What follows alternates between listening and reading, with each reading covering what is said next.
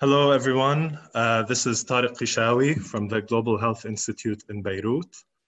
Um, we at, at the Institute, in partnership with Swiss, Swiss Cross Foundation, have established the Center for Research and Education in the Ecology of War, which, um, which aims to produce contextualized and evidence-based research about the biggest health challenges facing our region, particularly in conflict settings. Uh, with the outbreak of um, the COVID-19 pandemic, we've seen uh, huge interest from humanitarian actors and uh, global health actors uh, in in addressing COVID in, uh, in, in all over the world. However, the particular challenges um, of conflict settings warrant their own and uh, particular response. Um, so the, the main questions we will be discussing during our webinar today is uh, what are the, what can global health actors do to number one, mitigate the harm that COVID-19 will have in conflict settings in the short to medium term? And number two, lay the groundwork for a COVID-19 strategy that is contextualized to meet the challenge in conflict settings. Some other questions to consider are, what does social distancing even mean in a refugee camp? How can health infrastructure that has been decimated by years of war, conflict, foreign occupation, and instability handle such a complex challenge? And finally, we'd like to hear from our panelists what are the, their top five recommendations for global health actors in conflict areas. Their insights will be valuable in getting the global health community to start addressing the particular challenges of stopping COVID-19 spreading in conflict settings which can lead to disastrous uh, consequences.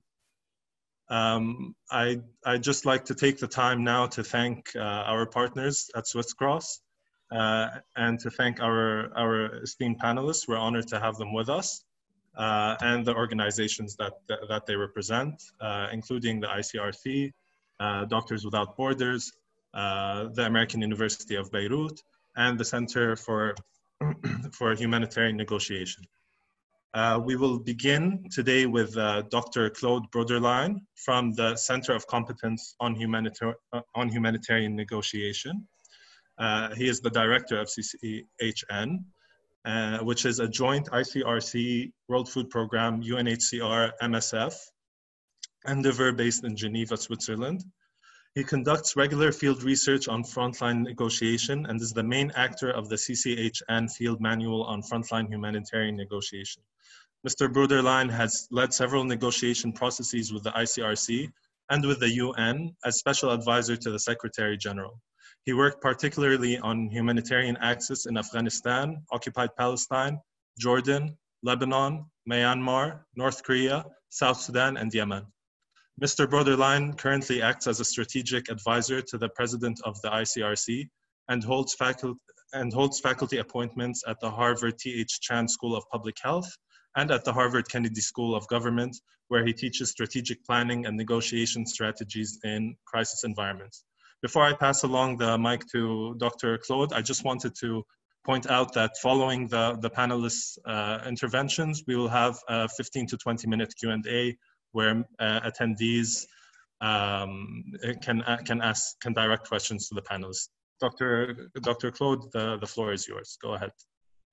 Thank you. Thank you very much. Well, I'd like to thank you for this invitation and uh, in particular for the AUB Global Health Institute, as well as the Center for Research and Education in the Ecology of, of War. It's a great pleasure uh, to be here and to, um, to engage with such a distinguished panel and audience. Um, I'd like to start by saying that one of the main challenge, I mean, in addition to um, the, the, ongoing conflict situation, and we're thinking more precisely what's going on in Yemen, and the additional challenge that the pandemic is bringing and will continue to bring for the months to come. Um, one of the challenges at professional level, it seems that it's difficult for the humanitarian organization and professional to figure out how to address the pandemic because the pandemic is not simply um, you know an ongoing uh, catastrophe as we have with armed con conflict you know um, where we have some kind of a distance. We are part of the pandemic. Um, humanitarian professionals are being confined. They are potentially super spreader of the pandemic. And we don't have this habit of being part of the problem where we see us part of the solution.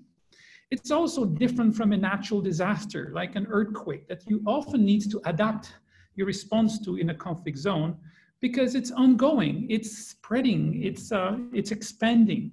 It's a natural disaster that keeps going and on and on and brings a lot of uncertainty in, some, in terms of planning.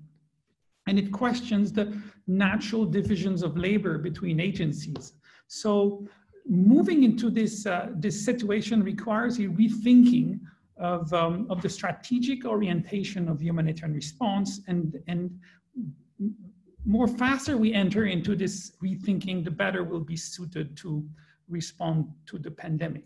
So what I'd like to do here is to share my screen or you're, you're turning the PowerPoint, I can see, is that right?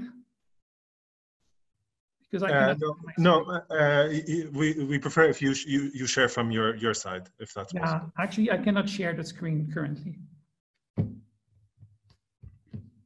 Because I'm not host. You have to transfer the host to me for that I can share.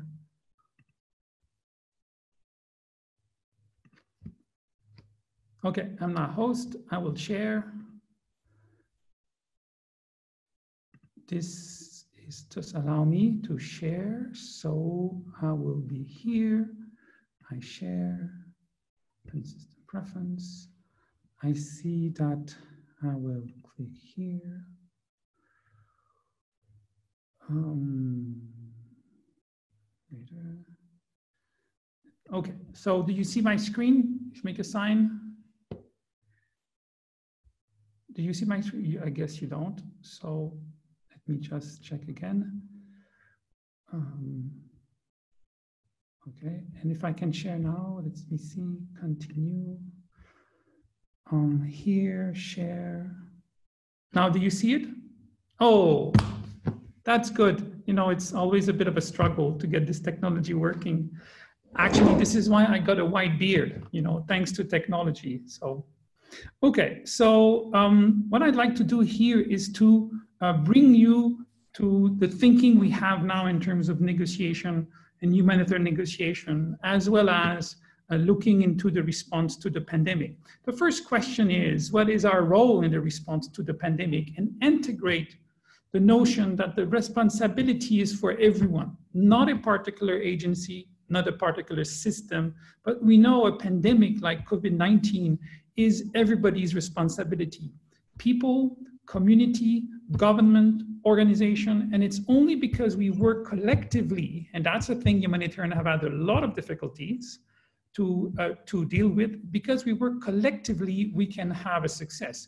While humanitarianism has distinguished itself as being a self-contained space for neutrality, and independence, um, impartiality, and some isolation from the political, from the security, from the development angle. So the pandemic represents a major challenge. In that context, it must be part of a national plan. National plan in a conflict zone often imply the perception of a taken side to the conflict because you're part of a national plan. And how do you deal with areas of the countries which are not under the control of the government, but rather the control of opposition groups? Are they part of the national plan? And how quickly it can be politicized? It has to be informed on science, science of public health, demography, epidemiology, and so on. And it does also risk to become political as we're trying to bring science, and we see this in some contexts, including in the US. And it, we need to reassert continuously the important role of public authorities in the response to a pandemic. So from a traditional area where in conflict zone, humanitarian will try to isolate themselves from public authorities, national plan, and collective approach. The, um, the, the pandemic uh, asked them to change their angle. So the key strategic priorities for humanitarian response and dealing with the vulnerable groups in a conflict zone is first to develop a re response strategy. The old way of doing things will not be the most effective one in terms of response to a pandemic. The spreading of a pandemic requires that we not only look at the, the vulnerable um, sick people, those who are like wounded or turned sick because of, of the pandemic, but to look into the health consequences of the disease, not only in terms of health, but also in terms of what have been the, the, the, the, the impact on health infrastructure and how we can mitigate the impact of the economy of the functioning of society. So the, the strict traditional humanitarian response is quickly being overrun by the impact of the pandemic and humanitarian needs to adapt their response. A critical point also, humanitarian organization needs to redistribute capability toward local authorities. The pandemic is not the disease. The pandemic is linked to the behavior of the population dealing with the virus. If the population is able to change some of these behaviors, we will see the spreading uh, diminishing. If the population is not able to, and we mentioned refugee camp, for example, if the public is not able to, to change their behaviors, we'll see an aggravation of the pandemic. So the importance of working with communities, with people, and find ways of um, getting this uh, reproduction number down, uh, limiting the spreading of the pandemic, and uh, sustaining health infrastructure.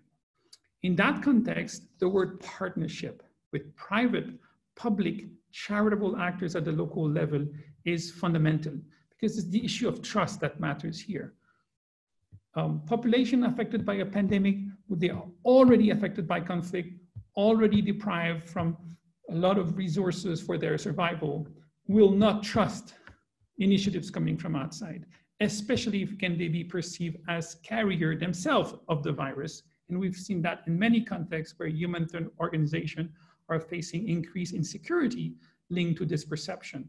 Therefore, the importance of developing partnership and working with the organization. So how it comes down to, first of all, is that we need to develop a whole of society approach. Humanitarian development security needs to be looked at through the natural divide that we've been working with so far. We need to support local and national authority and understand the critical interdependence between these planning of operation between health, food, uh, you know, water, sanitation, migration, protection, and so on. We need to be ethical and strategic. First, to see that the public health agenda may not converge necessarily with the humanitarian agenda. Public health is driven by rules and methods that are aiming for whole of society approach, a public health of the population, while the humanitarian are looking at impartiality and dealing with the most vulnerable. So we need to understand this, this point of tension. We need to recognize the importance of infrastructure and societal needs, as well as be able to communicate about the relevance of humanitarian principle in the response to the pandemic. And finally, and where humanitarian are good at, we need to regain control over the crisis environment. Now, when we see humanitarian professionals confined, you know, in their home, uh, not, not able to come out, um, we do wonder what's their role, you know? So um, it's important that humanitarian organizations find ways uh, to protect their staff and do a proper duty of care, but also fulfill their mission and find the, rate, the, the, the right risk management aspect.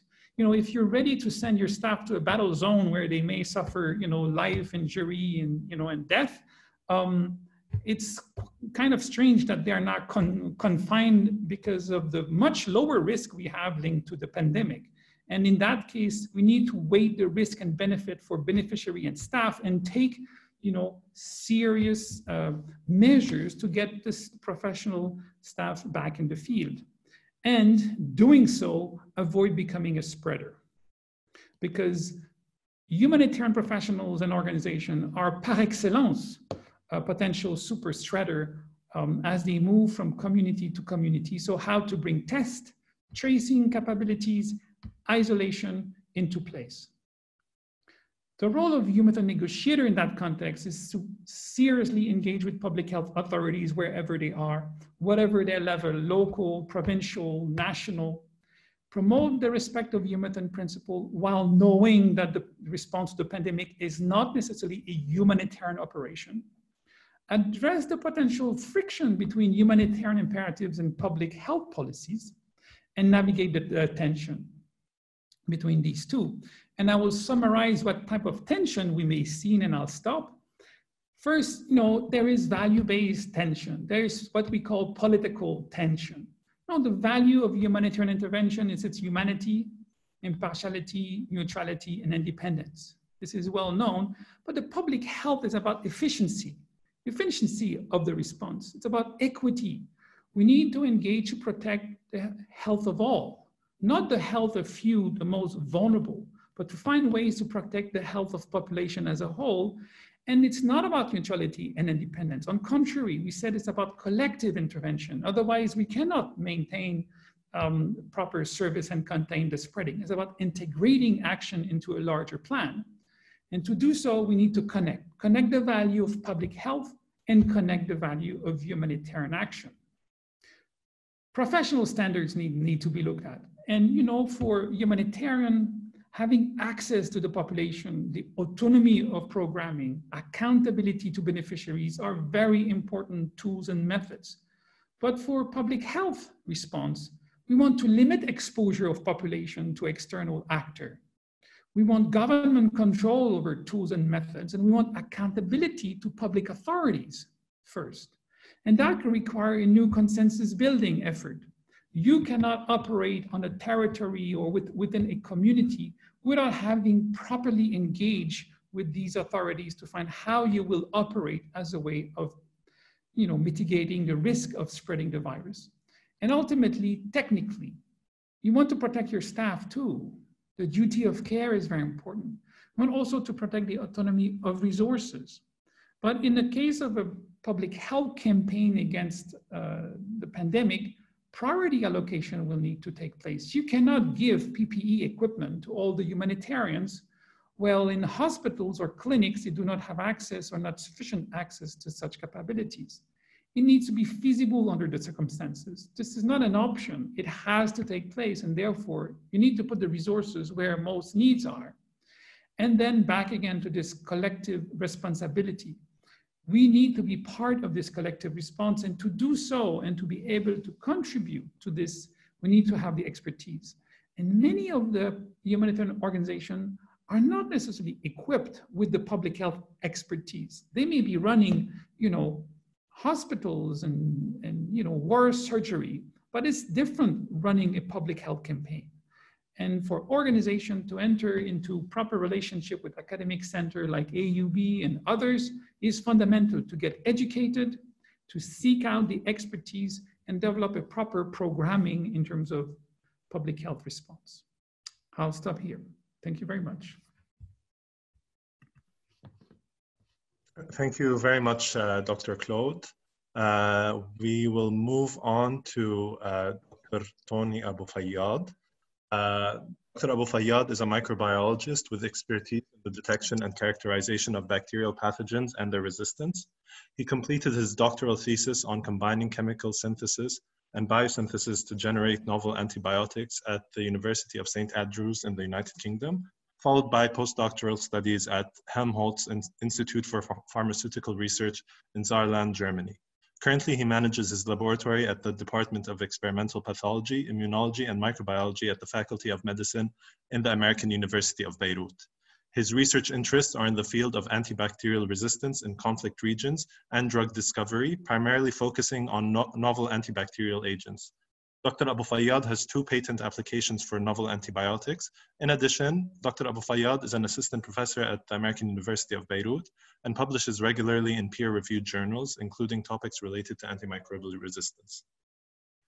Dr. Abu Fayyad, the floor is yours. Thank you, Tariq, uh, for this kind introduction and for the opportunity to be here with your panelists. Um, I'm not going to drag too long, and I'm going to continue from where um, uh, Dr. Claude um, uh, stopped. Uh, specifically when uh, when he mentioned the point that uh, panelists, uh, sorry, uh, the um, uh, the uh, health workers and the the humanitarians, you cannot really give them PPE if the hospitals in conflict regions and in in, in countries suffering from conflict, um, their hospitals and their labs are lacking PPEs for their tests. Now, um, usually conflict zones are a worry for us when it comes to infection. Um, I'm gonna uh, demonstrate for you uh, one or two of the main reasons why, which also falls where uh, our research research interest lies. Um, Tariq, would I be able to share the screen uh, from my? Am I the host now? Uh, I, I, can you can you try sharing the screen without me transferring host to you? Yes. It doesn't work. It doesn't. And now, can you try again? Still not. One last time. I think you can see my screen. Uh, uh, yes, we can. All right, good. So one of the reasons why for us um, conflict zones and uh, and uh, um, war regions are a bit um, scary um, is antimicrobial resistance and infection in general. How come if you add to it a pandemic outbreak, which is hitting uh, globally every single country in every corner of the world. Now, if you look at this schematic uh, timeline, um, if you notice that um, I'm gonna I'm gonna simplify it so that the audience can understand a bit, and I'm gonna state what the acronyms are.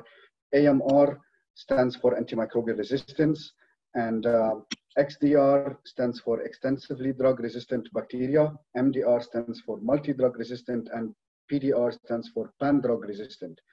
And pan drug means game over with the infection. That means this is an infection that has no antibiotics that can be used in the clinics to cure that infection. And if you notice, the first report of an MDR infection was during the 1970 um, war, uh, the Vietnamese War. Then in 1985, we noticed the first XDR infection emerging. And then in 2007, we noticed the PDR or the pan-drug resistant, the first pan-drug resistant infection emerging.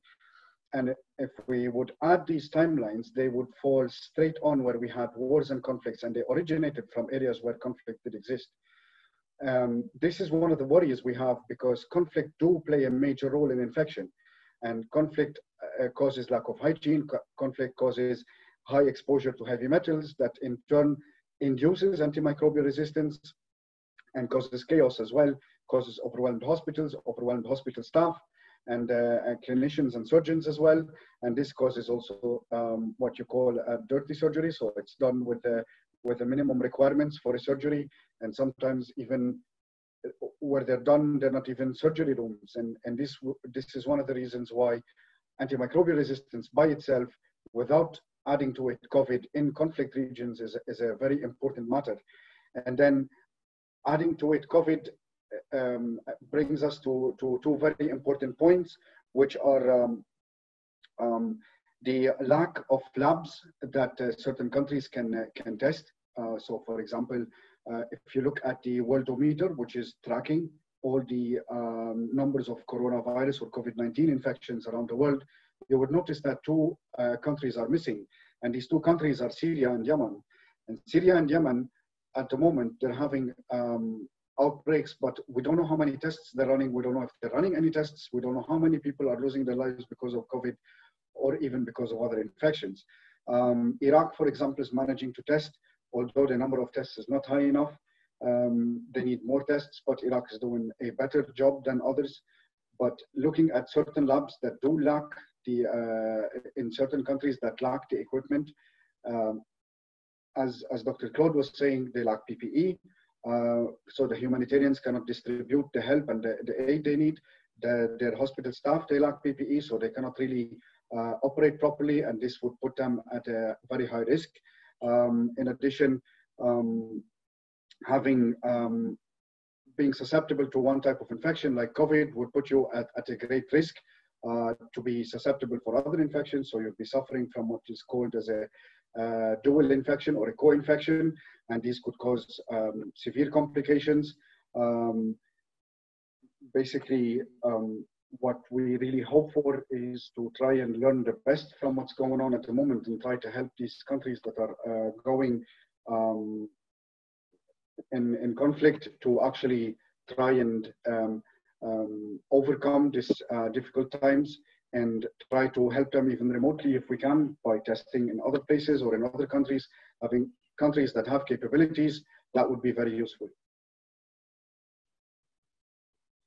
Um, I'm just going to finish up with uh, uh, a point that I missed to start with, that um, uh, the region that we are in, so Lebanon, Syria, Yemen, uh, Iraq, uh, Libya, all this Middle East, North Africa is a, is a region that is suffering from conflict uh, and ongoing wars over time. And this is causing a very high rise in, in resistance and in infection overall, not only as, as COVID outbreaks, um, and uh, we can uh, we can see that uh, uh, quite a lot of the um, what we call a first report of a specific infection or a, or a certain infection can be actually uh, uh, seen by in, in our regions.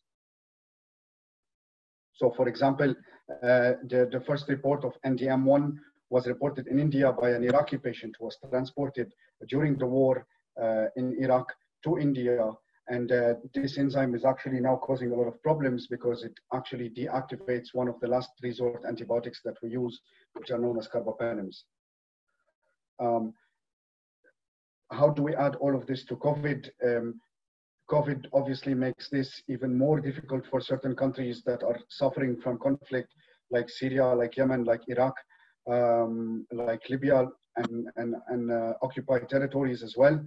Um, but um, what what basically uh, makes it also more challenging is that these countries originally lacked the capabilities and the skills to be able to um, characterize the infection uh, of COVID because the need of a real-time PCR machine, uh, which would be considered in these countries as an expensive device. If you would go to the Western countries, a real-time PCR machine could be a standard machine which is found in every lab.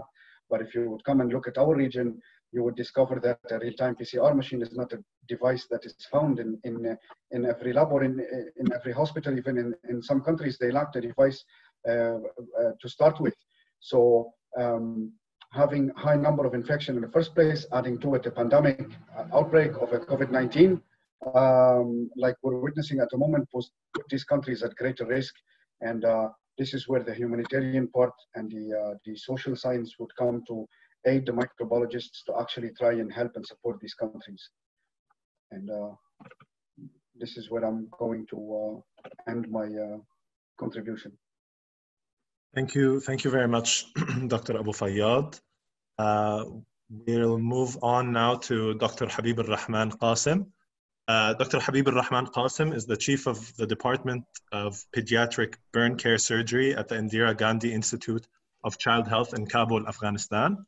He is specialized in pediatric surgery, burn care, plastic and, and plastic and reconstructive surgery. He is a member of the European Club of Pedi Pediatric Burns and has received the prestigious Zon Janžeković Janžeković Prize, I hope I pronounced that correctly, prize at the ECPB World Congress for Pediatric Burns in Birmingham in the United Kingdom in 2017. Uh, Dr. Qasim, I'll pass the floor along to you. Go ahead. Thank you very much. Uh, I would like to thank you, distinguished guests, and also you to for giving me this opportunity to join you. Um, as I have heard the two presentation of the distinguished uh, guests, uh, mine is a little different because I'm already living in a conflict area. But I cannot share from here my presentation with you. If it is possible, you can share from there. Yes, yes, I'll pull it.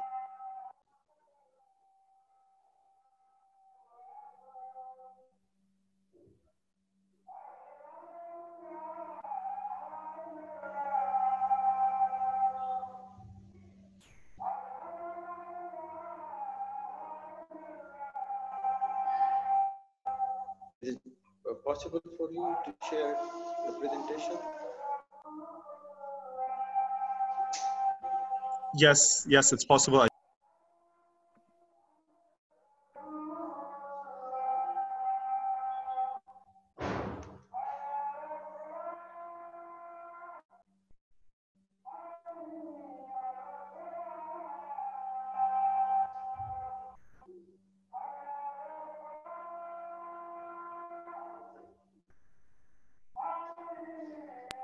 Would you would you like to start the presentation while I while I pull it up for the screen share?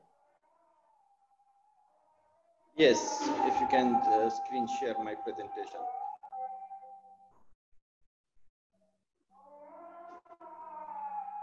If it is needed, otherwise I will just present it from my side. Yes, please start presenting from your side and uh, I'll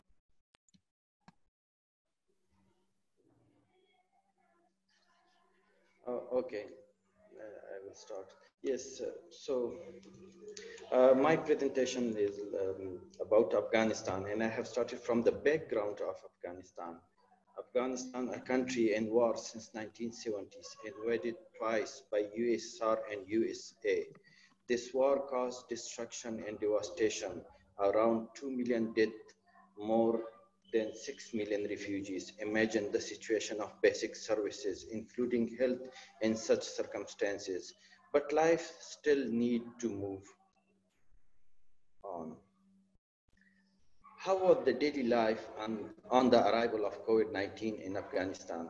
If we don't neglect and think about daily life in deep, it seemed the life here was like living in a graveyard but after when we go out of homes, the streets and roads were looking as usual. Markets overcrowded, bazaars and roads unplanned, traffic jams, and people were busy in their routines. So basic and simple life. But as a whole, one thing what we could see on the everyone's face was disappointment and lack of hopes survival in such circumstances itself is a good fortune.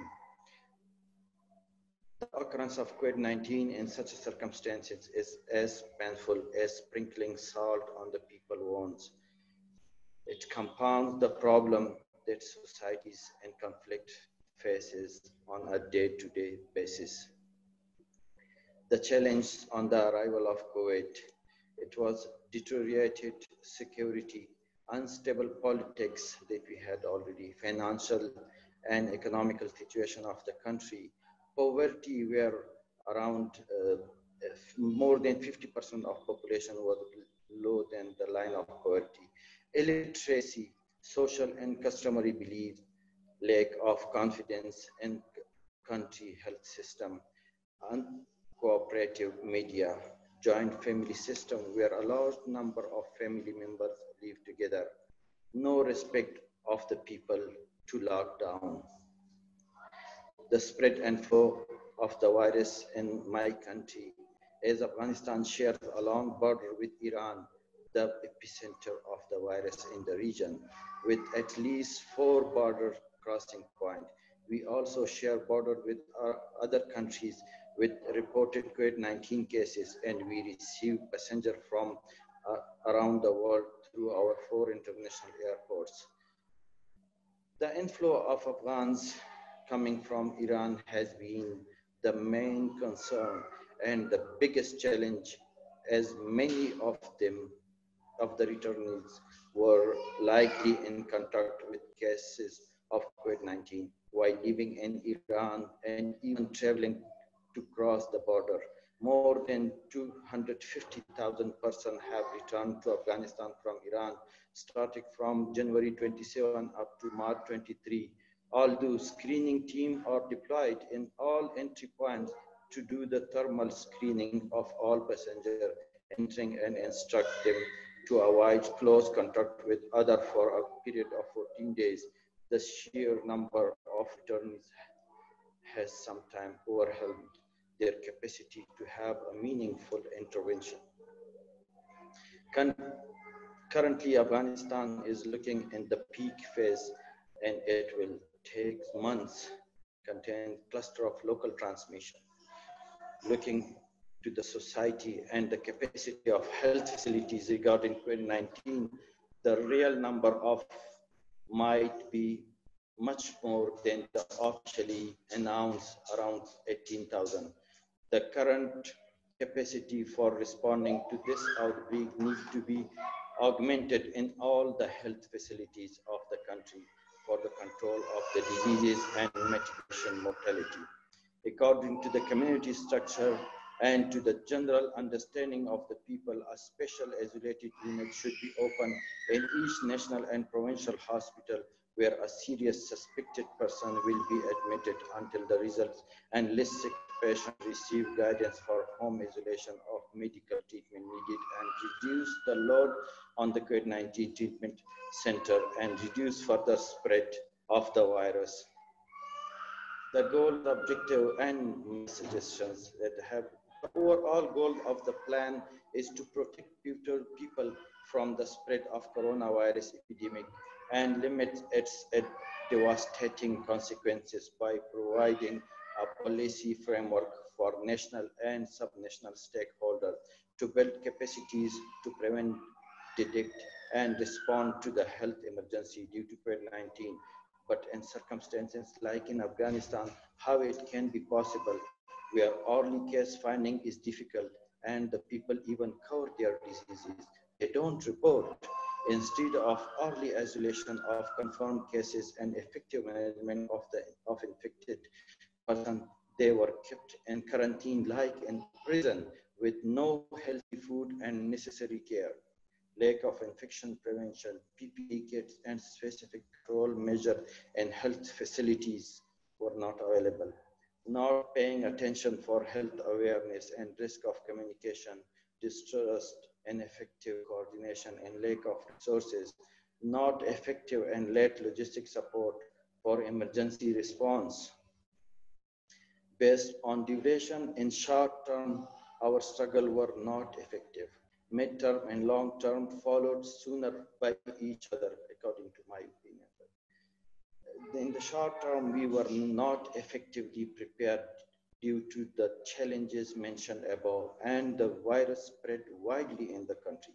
All the health facilities were not equipped and were not we and were not ready to receive the infected person by virus. And the people also blindly visited the hospital to find the good place and better treatment that causes a widespread of, of the virus among the medical professionals. A huge number of them suffer, including Minister of Public Health himself. And unfortunately, we have lost many of our colleagues in the last two months. It caused the phobia of COVID-19 unnecessarily spread much faster than the diseases itself among the professionals. Although lab capacities to respond to early diagnosis is still very low, using available financial and other resources for advertisement and charge instead of preparedness of medical staff. The medium term, long term, or will say better, the current situation that we are establishing a central command center on the national level, which contribute in the development of robust national health security agenda for all hazards and pandemic preparedness framework for the country, which is involving all the national and provincial hospital, if possible, district level hospital in terms of capacity in the treatment of COVID-19, especially the, their department of internal medicine, anesthesia, reanimation. We will take adv advantages of their talent and experience. Let the organization to make team according to needs and sufficiency in this system a team will work together under the leadership of a qualified person, which is already known. The salary being used for the new personnel and new hospital should be used as allowance to the, the personnel of this hospital.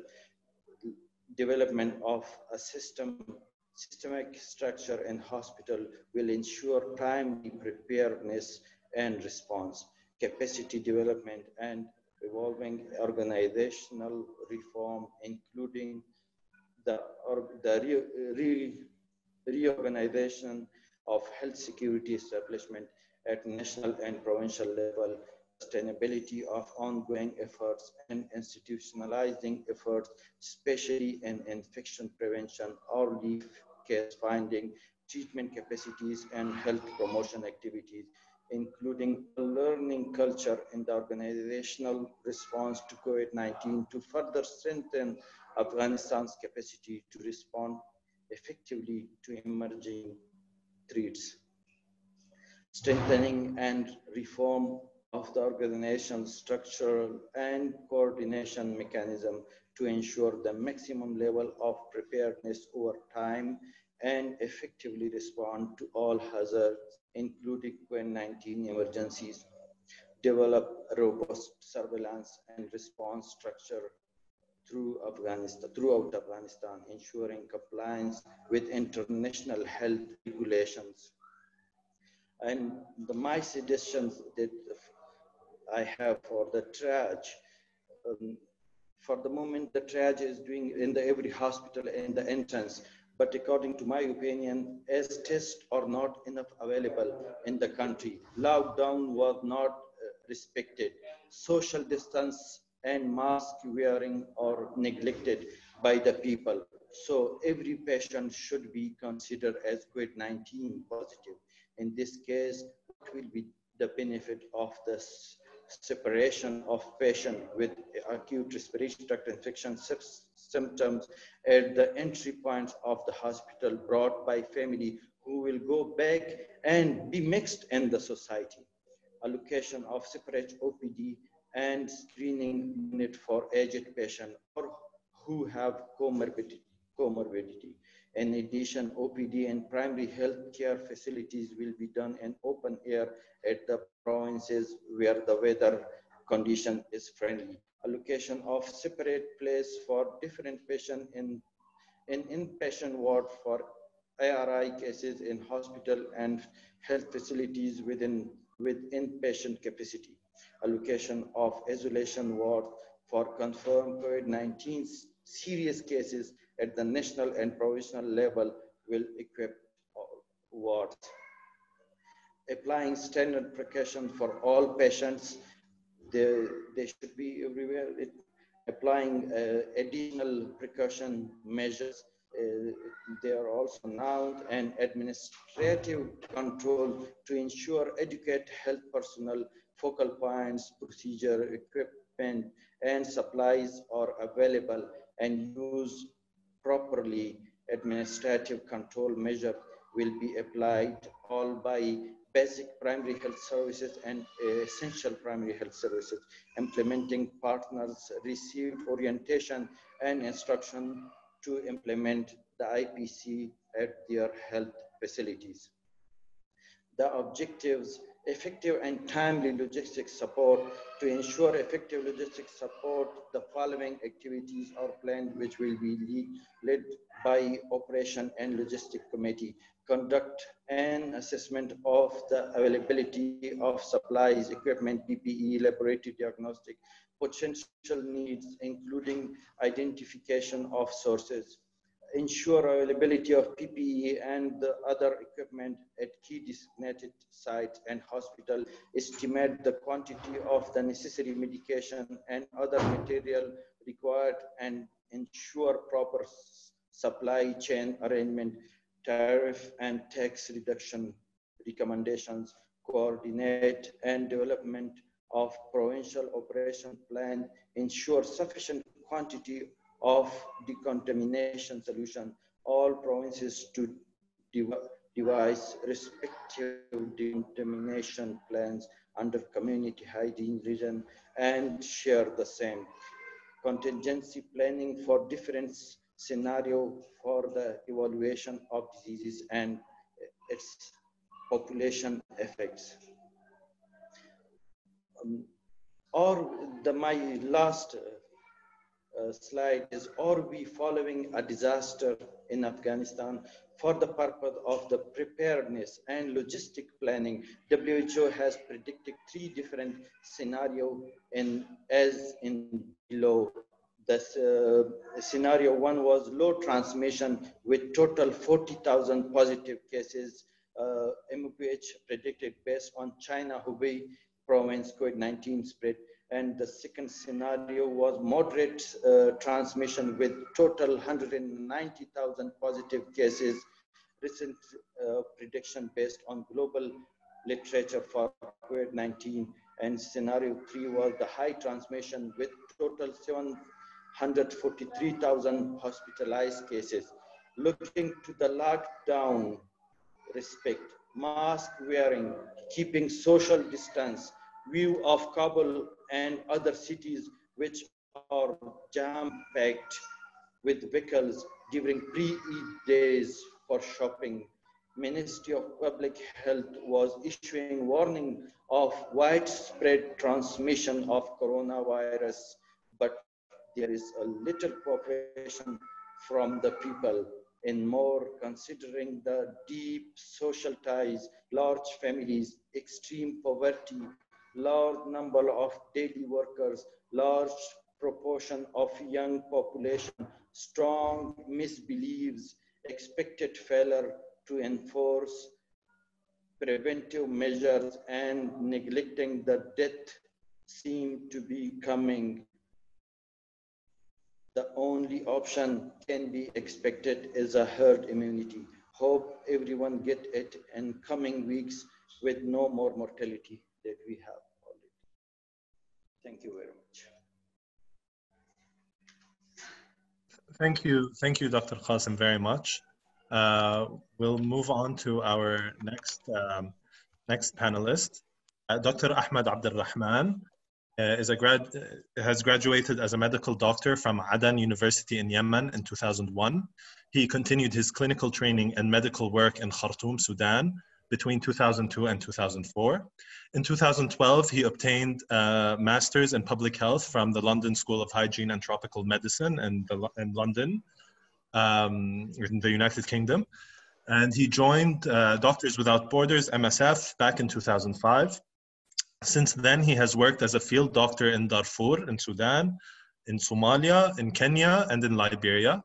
Then he uh, assumed the position of medical coordinator in Sierra, Sierra Leone, Pakistan, and Libya.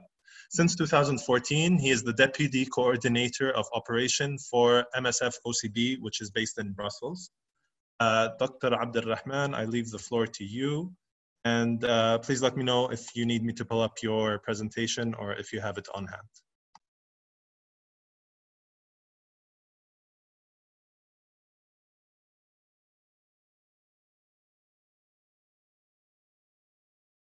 Uh, Dr. Abdulrahman, you're muted, uh, so we can't hear you.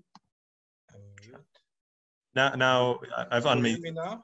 Yes, we can hear you. Thank you very much for the invitation and the kind introduction. Uh, I'll try to share my screen. So let's see if it uh, if it work. So, uh,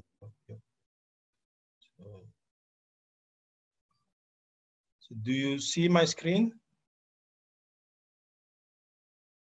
Hello. Uh, no, we don't. We no. don't see it yet. Uh, so okay. Um, you have to click on the, the small window and then click share on the bottom right corner. Yes, it's it's starting to share. Yes. Yeah. Okay. Yes, good. We can see it now. Okay. Good. So, yeah, basically, I will just try to uh, share a bit of uh, quick experiences and perspective from an MSF perspective. Uh, I will try to go quickly and then maybe click a bit on some of the connecting value that, uh, that Dr. Claude spoke also about. Uh, so I will go just uh, quickly in, in terms of as a humanitarian actor now. I mean, uh, despite that the, the conflict had had a, had a lot of pressure on the social texture, and, and the trust was mentioned a lot uh, for community engagement to get people understanding the disease and, and move with you on it. But that will be uh, we, we noticed that will be hardly uh, there in a lot of conflict setting where where this is a bit lost, including a loss of trust with some clinical care providers. But I want to focus here that one what we see in the last decade in terms of, uh, especially for us as a medical humanitarian actor, is the is the erosion of the humanitarian principle that Dr. Claude has brought and that is in tension with public health. But also we see that also the, the, the blurring of the line uh, in a lot of um, in a lot of conflict setting uh, uh, in, in Congo, for example, but in a lot of other countries, we see that uh, that there is a lot of heart and mind campaign that have been mixed uh, with the peacekeeping, and now there is some discussion of um, counterterrorism as well. So we see those all are additional complexity in conflict setting that complicate uh, a public health measure or a general response overall for humanitarian actor and non-humanitarian actor. We saw also, for example, in, in eastern of Congo, where there is an active conflict since a decade, that there is also some militarization of the response itself. Uh, and that complicates the issue as in the case of Ebola. Uh, and and and uh, and then there have been always this issue of tension that we have seen over the last decade between humanitarian emergency and state building. So I think that's before COVID arrival had been always a complexity. So now what we see concretely as COVID risk on top of this, uh, I think for us the most probable uh, important uh risk that COVID brought is additional uh, barrier to care that we see in conflict setting already. If we look at the pyramid of uh, care or the barrier to care pyramid. I mean, notably with the finances, the physical uh, barrier, and the cultural barrier, we could see that the COVID have pushed people socioeconomic further to poverty. So, I mean, obtaining a fee for a consultation is already complicated. But physically, we're in conflict setting, distancing or kind of um, uh, physical barrier in terms of military checkpost and all those kind of things are already in a lot of context. We see that, for example, in Aden in Yemen, there are increasing military checkposts. The access to to the city is very is very complicated. But then with the COVID in itself, we put ourselves physical barrier to try to protect those structure. So uh, so that's also all add. And then as mentioned by some of you, the cultural issue. I mean, the whole conspiracy around COVID have a lot changed a lot the perception of people around the disease itself. And it's a disease in, in some contexts, like in Congo, RCA, and elsewhere, it has been perceived as a white man disease or a rich man disease. And in US, they were talking it as a Chinese disease. So, I mean, this whole cultural dimension, again, add, add a barrier to some specific minority and some, some group. But also want to highlight one other barrier specific or risk linked to the um, uh, conf conflict setting is that uh, and, in COVID, we saw a lot of dependence on law enforcement actors to, to, to try to do uh, outbreak control. So we, we are worried and we saw some signs of opportunistic use of this to repress opponent. Uh, we see some example of that in Kenya, Uganda, but elsewhere. So this is additional risk factor that COVID has brought beyond, um, beyond the only medical factors. And then if we focus a bit on the medical factors, I mean, uh, we, we saw that, for example, there have been a lot of focus on the on the medical care in a lot of the hospital for the very critical cases uh, that require 5%. But we notice largely that uh, the oxygen become a, a, major issue. For example, in Aden in Yemen, we are running a health, we are running a hospital with a bed capacity of around 80 bed, but uh, the oxygen, the oxygen consumption in that facility is around 120 bottle per day. And, and that's a key struggle to try to maintain that. And that's one really of the thing that we saw as a major challenge that COVID have put for COVID and non-COVID patients that still need oxygen. So I think a lot of you mentioned the PPE and additional supplies, but also wanted to highlight that also non-COVID related supplies. We see a lot of hospitals are running out of supplies and shutting down. Once linked to the, the first line worker and health worker being infected themselves and then they are getting outside the service and the hospital are shut or because of lack of supply. And in the lack of testing as was shared by the colleagues also especially from afghanistan that, that, there is very few testing. So they start to assume that everyone will be covid. So that also might inflict more fear or have some staff and hospital shut down and refuse to provide care. So we saw those also as very specific medical challenges that make the response in conflict setting a bit more complex. So facing with all that, I think then it becomes a sea of need uh, in context, uh, uh, conflict uh, context. So I think what we need to see what can be done in terms of strategy for medium and uh, for immediate medium uh, term, I think we need to have a very concrete priorities and objectives. And, and to do this, we, we in MSF, we start to use frequently now this kind of three diagram, three circle diagram try to have some focus. So giving the nature of the organization, a medical humanitarian organization, we try definitely to focus on the vulnerable group. Indeed, the pandemic require much more public health oriented response. And we are in day to day struggling by trying to connect this to value for a medical humanitarian organization, but still we would like to have that as a guiding principle.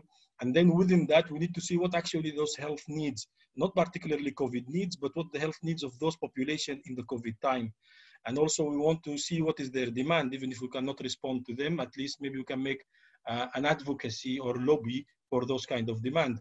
But also we need also to see what actually the, in, in terms of how now to formulate all that, we need to see what are the most relevant uh, and impactful intervention. And here we start to enter into the feasibility. So ideally, we would like to interact where the three circle overlap. And that's how we guide our resource and priority setting. So for us in this, to try to cope with this, we, we actually pick three key objectives. So we said, okay, the COVID is there, we cannot ignore it, so we have to contribute to the outbreak. And also we have to focus on mortality reduction, contribute to reduction of mortality morbidity, but for non-COVID, we believe that this will result in much more excess mortality in a lot of the conflict setting and low resource setting in general, giving the pyramid of age, of course, and, and those kind of things. So we, we are worried more about the lack of access to non-COVID care. So that's a, another guiding principle. And indeed, a specific COVID intervention will be be deployed. So for the first one, we are trying at least to minimize that our hospitals and health structure become an amplifier of the infection. Uh, so we, we, we, at least want to block that and not to act as a super spreader as, as also shared by a couple of the panelists before me. So, but we don't want to stop there. We want also to be able to have an impact on reduction of transmission in community through actual engagement with community, access to water. We also helped a lot on mass production of uh, um, mask production by local means, by provision of some supplies, by having workshops, in Lebanon, Afghanistan, Burundi, Congo, Yemen. So this is all to raise awareness, but also to provide uh, concrete means to limit the transmission. We also um, looked at the idea of the of uh, helping home-based or community isolation. One of the questions that was shared by the organizers that what does it mean in, in, an, in, um, in an IDP setting? So indeed, I mean, if there is 10, where 10 person living in the same room, I mean, that idea of home isolation become a bit of a, a joke to some extent. But still, we believe that there are, we can help community to find their own solution uh, and need to provide them with some means, of course, hygiene kits, and some mask and some access to water, but also we need to give other idea that have been shared mainly. It's coming uh, about the shielding which has been entertained by different uh, actors. So we we don't see it as uh, creating a camp for the healthy personnel with vulnerable condition or chronic disease but we can look at household shielding by supporting some communities household that they have uh, people with chronic diseases. So at least they receive some some of the NFI kits that can help them stay a bit safe.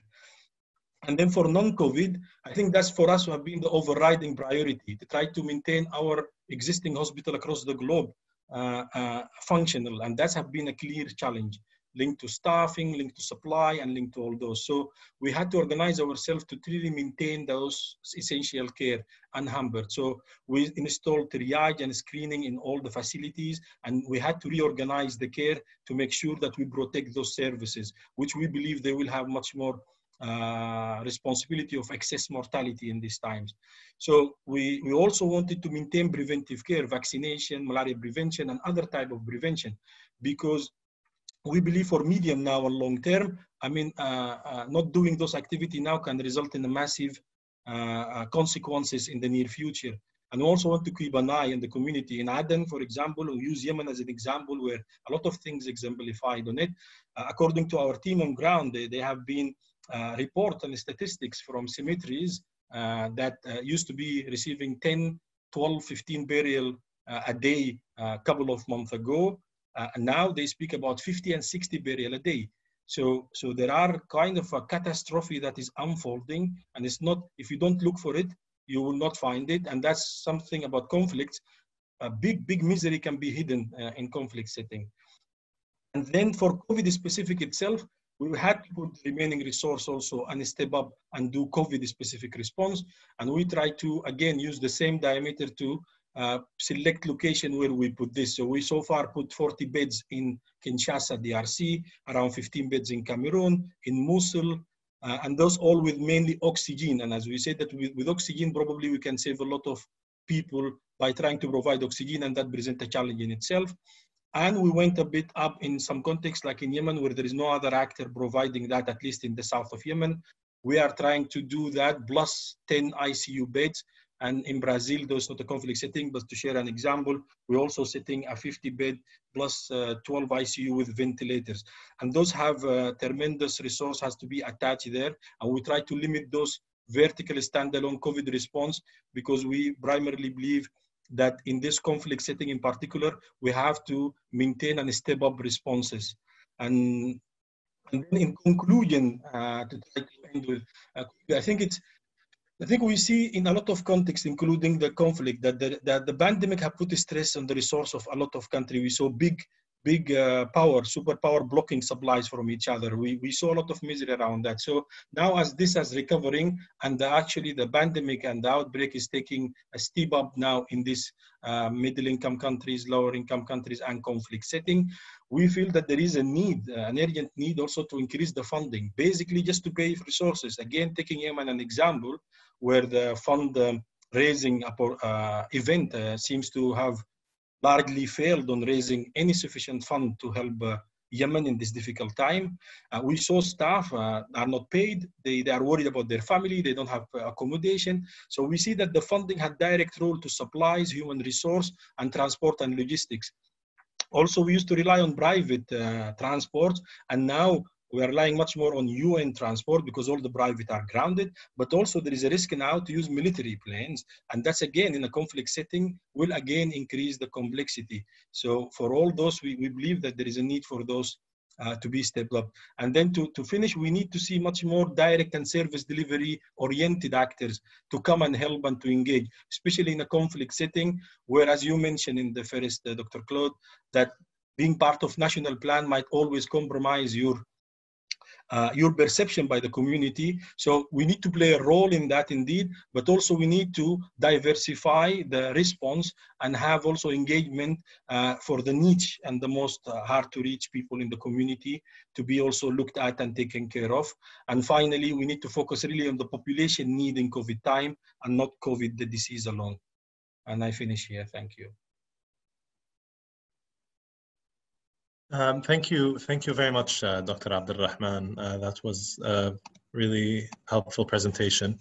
Um, so now we have the chance uh, for the attendees who I would I forgot to thank in the beginning of the webinar. I'd really like to thank the attendees for, for joining us. And uh, we, we do appreciate their, their uh, input as well. Uh, so if, if, if anyone has any questions, please use the Q&A function on Zoom. Um, so there's, there's already two questions. I'll start with the first one. Uh, the, the question is, one more question regarding the mortality rate of COVID-19 in various regions in the world. For example, in India, the mortality is low compared to Italy or Spain, much less crowded places. Um, so I, I, assume the question is, how, how can this be explained? That uh, possibly countries that are more crowded, that uh, have more challenges in uh, implementing social distancing measures, uh, that are possibly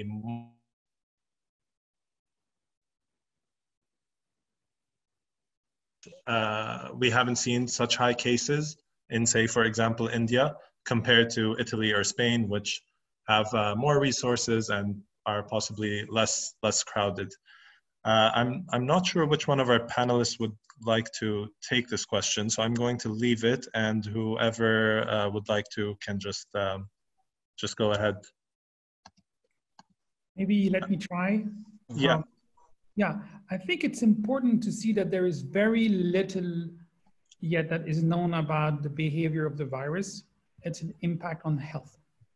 Um, the level of mortality, the level of morbidity, the severity of the impact, the profiling of, um, of the population and how it affects certain groups in terms of ethnicity, in terms of the social and, natural and environment. Um, We're just discovering these aspects through um, studies of the population.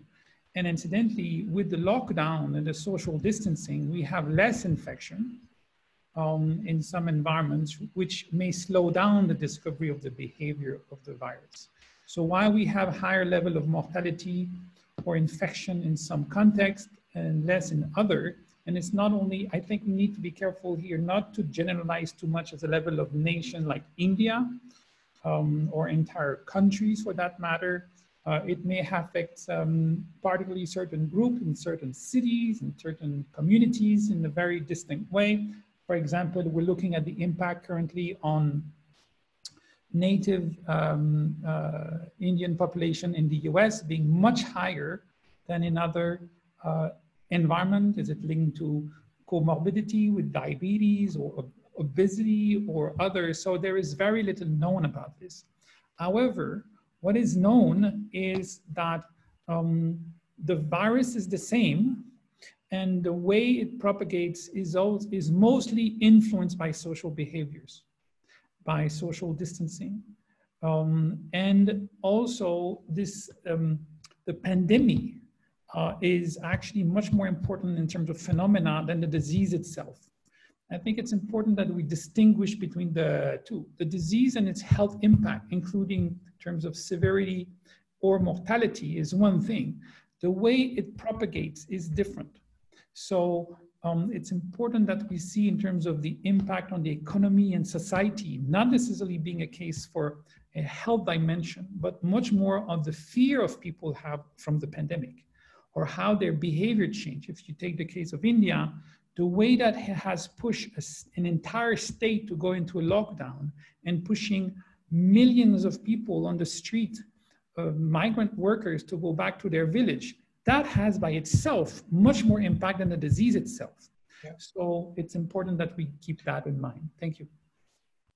Thank you. Thank you, Dr. Claude. Uh, I'm going to move on to the next question, which is directed for uh, Dr. Habib, uh, Dr. Habib al-Rahman Qasim. Um, his, the question from uh, Ahmed Didiab is, how can you reduce and what are you doing to reduce the transmission of the disease, especially with the lack of resources and no compliance?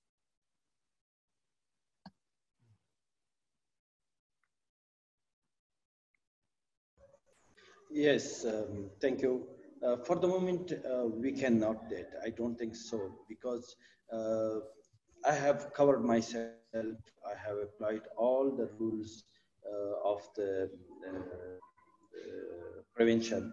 But when I'm going to my office, to my hospital from home, in the way I will find some police officers who will make checkup twice in the way and they have no mask and I cannot force them to, uh, to wear the mask. And I give them my, I, I had a mask with me and I asked him to wear this mask and after check my body, but he didn't accept. This is one example. And the people, they don't follow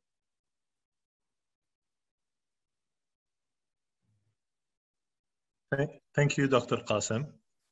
Um, I'm, I'm going to move on to the next question from uh, Dr. Potaker.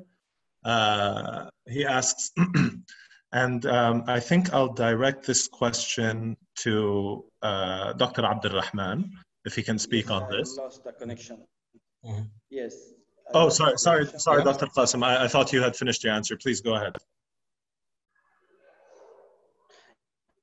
And other all the rules the government they cannot force to the people. For example in europe they applied the fine.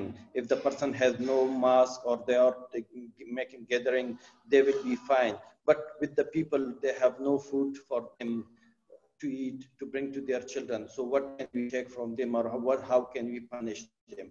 And it is not a person a thousand a lakh they are a million so I think the controlling of this uh, spread of uh, COVID in my country, it is not possible for the government and for anyone other. It will spread. It will. Every one of us will suffer. Thank you, Dr. Qasim. I, I hope um, I hope that it won't spread, and I hope that not too many people will suffer. Uh, but I'm going to move on to the next question from Dr. Potaker.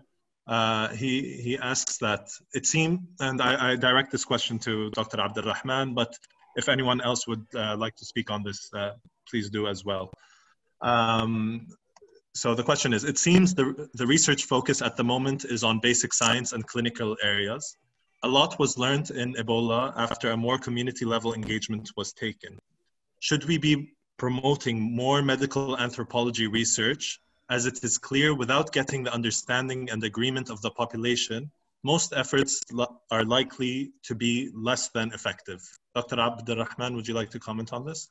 Yes, I mean, 100, absolutely, absolutely, 100% agree. I think we, we, we, we learned few, we learned a lot of lessons, but still, yeah, indeed, that that uh, that anthropology component part have been have not been really uh, looked at uh, seriously and not have been invested a lot in. I think we have learned a lot of lesson in the Ebola response, and more more recently, the, the, the current Ebola response in the conflict setting in in, uh, in uh, eastern Congo lasted two years, and and during these two years, uh, one of the main one of the main problem we saw we got even one of our uh, health center one of our treatment health center being burned down so the, the very people that you want to help they have very very different perception because we were playing that part of the role in the national plans, like uh, we were tasked to do the prise en charge, so which is to do the curative care in a center, but without engaging with the community, asking and the design of the center.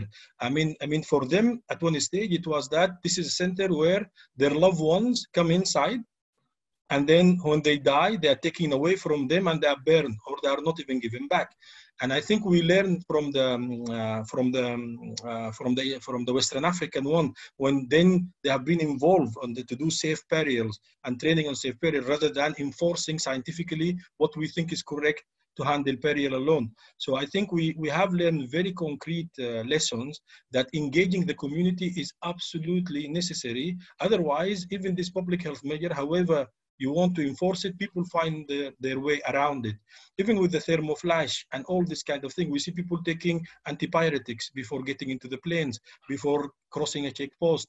So I think we need to invest much more to understand the perception of a disease and then try to adapt with the science, adapt the measure according to the understanding of the community so the community can accompany that because without that engagement of community, uh, little will be done and, and, and very few progress and slow progress will be achieved. So absolutely, um, it's very important. Great, great, thank you. There, there's a question uh, directed Sorry. to both. Sorry. Uh, May I add, uh, uh Dr. Ahmad, regarding the previous point? Please do. Um, I am tempted to slightly disagree with uh, with Dr. Ahmad and and uh, um, if I'm not mistaken, Tom, for their uh, point because I think, and maybe Dr. Claude can can uh, can help me on this. We know we back when Ebola outbreak took place, we know a bit more about Ebola than what compared to what we know about the COVID-19 strains that are circulating at the moment. And we, I don't think we can really compare the response to uh, Ebola compared to the response in, in, uh, that we're currently uh, witnessing in COVID-19 because of the uh, vast gap in literature knowledge and, and, and data knowledge about the viruses themselves.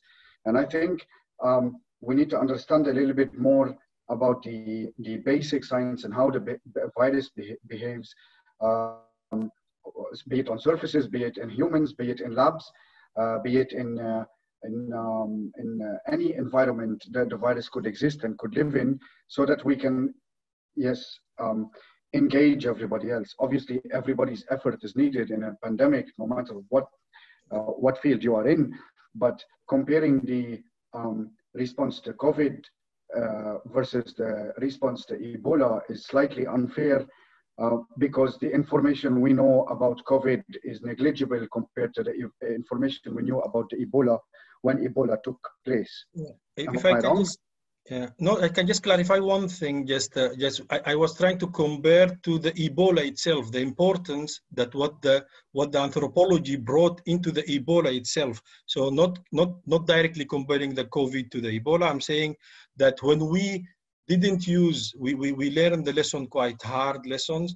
And when we adapt our approach with community engagement, trying to involve families in burials uh, uh, and trying to involve families in the design of the Ebola treatment centers and try to, uh, with science, try to organize visits uh, with some distancing, even in Ebola setting, there we saw the big difference in terms of um, uh, compliance of the community, understanding of the community. So comparing within the Ebola, when we did not take the community understanding on board, and with the community understanding within the Ebola response, we saw a big difference. Um, uh, okay. so, so within within that, and we think in general, a lot of this could be transferred and applicable. So engaging the community in COVID care will be helpful. It's not to apply the same measure of Ebola directly.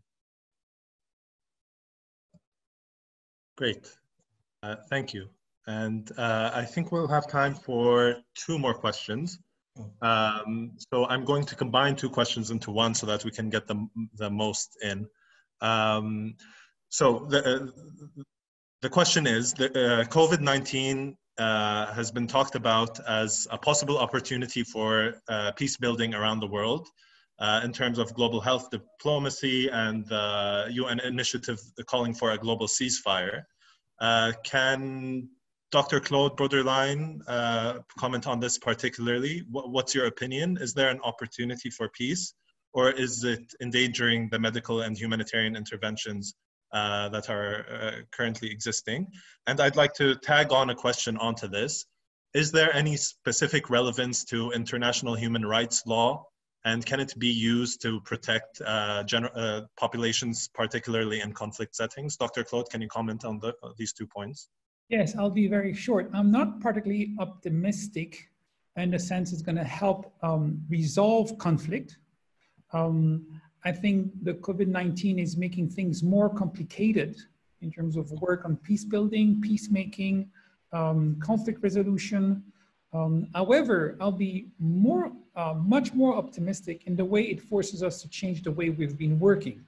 In the sense that the fact that now we have a lot more trouble traveling, moving around will uh, provide more space uh, for people to work at the field level, to get more responsibility and resources to undertake the programs and build trust with communities.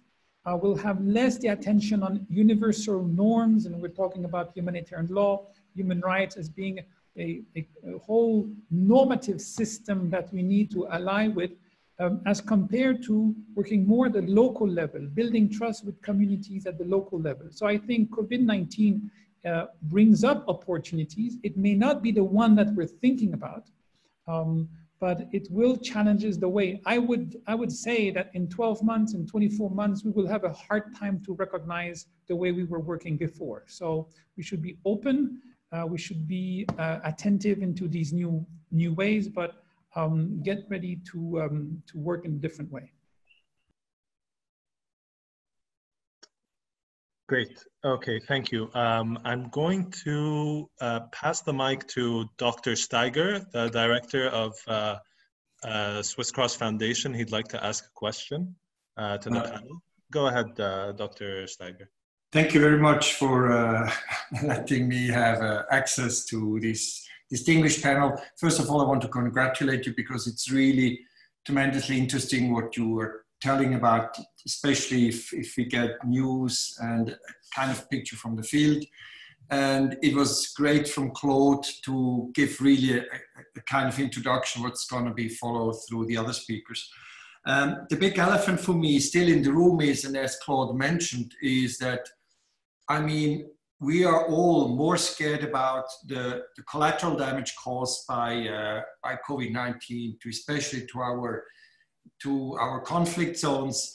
And what is still in the room is how do you feel, Dr. Habib, and how do you feel, Dr. Ahmed, from your experience, and Dr. Antoine, uh, in your environment, you're working in direct contact with the refugees, with the affected population. How big is your personal impact feeling about the impact of COVID to this uh, to this society and to this community from your personal own experience? Because we get uh, through Worldometer and all these statistical websites, we get informations about what is published, but what is the what we don't know here far away in Europe, for example, how does the reality for you look like in the field? Can you give us uh, a quick update uh, from your perspective? I would like to start with Dr. Habib and maybe Dr. Ahmed uh, and Dr. Antoinette. Okay, Dr. Habib seems to be busy. Maybe Dr. Ahmed and Dr. Abdel Rahman can give us a short, a short okay. introduction. Yeah, I mean, I think I think as I, I was, I was trying to say, um, I mean, what we see in the in, in the field, I'm a bit also. I mean, I'm, I'm based currently in, in in Brussels, so I've been also impacted, uh, being uh, blocked here, so not visiting, but I'm in daily contact with our teams in the different uh, in the different uh, contexts, different countries. So I think the current reality is that this what was a slow burning uh, outbreak, let's say. I think we were very cautious in the around the second half of March April, and and then people you know the fatigue has kicked in. I think in a lot of uh, places the fatigue had kicked in, and some people, while the outbreak is start to shoot up, we notice that there is some fatigue on the community that we engage a lot of the community together. And we were seeing a bit in the drop on the consultation in some of our facility. But now this is we we don't see we saw two things. We saw that the outbreak is increasing and perhaps there are some fatigue now from the from the measures and, and the applicability of those measures are, are, are, are start to ease uh, at this stage. So we start now to also be, being very busy internally because we start to feel that break in our own staff. We have now considerable amount uh, uh, that had we blocked our capacity. So in, in terms of just conducting risk assessment for our different hospitals, if I take Congo, for example, where we have more than 100 international staff, and, and, and around 2,000 national staff. Imagine around 20% have risk factors. So we have to change their roles. So this is actually have uh, brought us to reorganize the care quite a lot. So this has been really very difficult and time time consuming at, at that stage. But also for the for the community, we notice a lot of a lot of mistrust started around that this is this is not true. And you mentioned that this is invisible and in lack of testing also it's completely invisible and with the conflict and other priority and for some life goes as uh, as normal and this people is trying to scare them uh, from something as usual. In our project in East Congo, where the Ebola was around, again, some of them never saw the Ebola. They hear big thing, big cars moving around because of something. And now we start to see some parallel on term of their perception that there is something also being done to hide this. And for that, for example, now in the field, we initiated what we call digital health promotion. So we are trying to use social media, WhatsApp, and Facebooks to be able to respond to rumors because we, we start to notice in the local community there are very dangerous rumors circulating that can actually have medium uh, consequences for the access to care in these communities. Habib is back. He's, he's really in the field. He can really share a bit much more tangible, I think. Yes, uh, I'm back, but I have I didn't hear the question because uh, we lost the electricity and now I'm online on my mobile.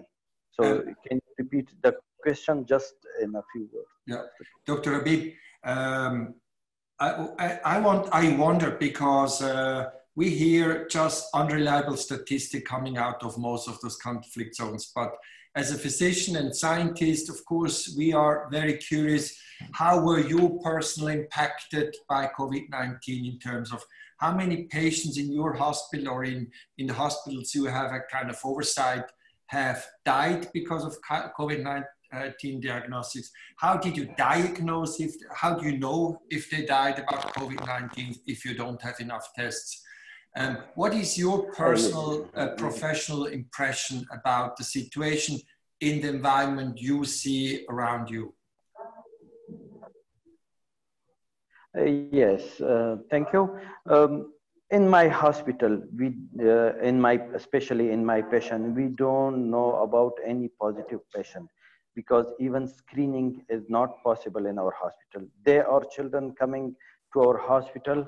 They, they are uh, the family they bring, and we don't know about the uh, healthy carrier if the family, even the families are sick, they are using mask and we are in contact with them, but we don't check them. And no one in the entrance of the hospital is screening them. That's why in the start, the second person who died in the doctor, it was in our hospital. We lost one of our doctors. And after that, uh, the, uh, in charge of our emergency department, he suffered. And next week, 10 or 11 people from emergency department, one of them was our resident doctor, he suffered. And after the third week, we had 12 surgeons suffered from COVID they were positive. The other, they also had the, the symptoms, but uh, because of lack of uh, test and availability, and they were coming again and again for the test, so they uh, were not able, it was not possible for them to make the test and they stayed at home. Just the people who were, who had no symptoms, they were coming to the hospital and we make the shift system in our hospital. Around me, in my where I'm living, uh, so every family they have patients, but they covered. They don't show their patients. They are not going even for test. And um, one thing other, they are going by themselves, making checkup of, of a CBC check in the laboratory. And when there is leukopenia and they perform the Widal test, and sometimes the Widal test it is coming positive and the lab technician will say to them that you have typhoid it was a, a big spread of typhoid last month in the Jalalabad and also in other cities in Afghanistan. And the people always, they were saying, we are sufferer of typhoid. And then the Ministry of Public Health, they sent a team to Nangarhar province and they took the samples and they rechecked and they found it, it is not the typhoid, it is the uh, coronavirus. So a spread, even in my family, I have, I had the patients, my brother and my daughter is are uh, in quarantine still. It is today is the 10, the day, day 11. And in Kabul, uh, my mm, sister family, they are suffer. Uh, uh three people are suffer there. My brother-in-law, he is in serious. And also my cousins, all the families that I know, they have one, two, or three patients who has symptoms. It's look like that these three people will be among these uh, two or three people who are suffered, who who has the symptoms. They are of this 20 or 15 percent who can show the symptom. The other will be also. Uh, I imagine that other people they are also positive, but they are healthy carrier, or maybe they are newly in contact and they will show the symptoms uh, later. So the situation is like this. If in the hospital, around me, in the uh, neighbors, and in the family, situation like this. One thing other, the, according to the uh, government official announced uh, announcement, uh, uh, the positive cases are around 18,000, but they are from not more than 50,000 tests we have just performed a list test. Uh, one survey that which was performed by Ministry of Public Health. and that survey, the healthy people were tested and there was around 50% positive cases or 30%, uh, sorry for that, it was 30% or 50% positive cases. And from my village, where I'm originally from, the villagers, uh, even today I call, talk with them by telephone uh, when they are seeing some newly uh, buried uh, or newly new tombs. They are finding the new tombs in their uh, uh, graveyard. So, and it shows that there are the mortality rate is high, but the people they don't show or they don't register their patients that they are suffered of COVID and they are died because of COVID. And most of the people, unfortunately, they join the ceremonies and after this ceremony, of course, it will be a huge spread again. Thank you. Thank you very much, uh, Dr. Qasim. And uh, first, I, I wish uh, all your family, whoever's been affected by this, I wish them a speedy recovery. Um, and uh, I hope they'll be back up on their feet uh, very soon. And um, I think, unfortunately, we th there are a couple more questions that are on the list. Um, I, I'm, I'm afraid we're going to have to wrap up. um, at, at, this point. Um, I want to thank all our panelists, Dr. Abdulrahman, Dr. Abu Fayyad, Dr. Claude Bruderlein, and Dr. Qasim. Uh, your contributions were, were excellent, very um, informative, and uh, we hope that you know this can be used by the global health community to promote a more contextualized, effective um, uh, COVID response in conflict settings and in uh, you know uh, under-resourced countries uh, in general. Um, I'd encourage all our attendees to stay tuned for uh, uh, with the Global Health Institute and with our partners at Swiss Cross to follow us on social media to be informed whenever we'll have more um, events like this. Um, you know, uh, one, I guess, silver lining of, of this pandemic is that people have become much more literate in using uh, these tools that uh, can bring people closer together despite the physical distance.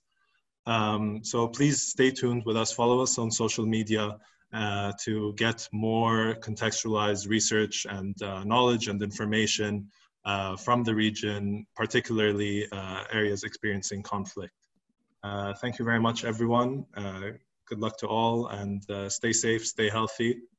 all the best. Thank you. Thank you. Thank you very much. Bye bye.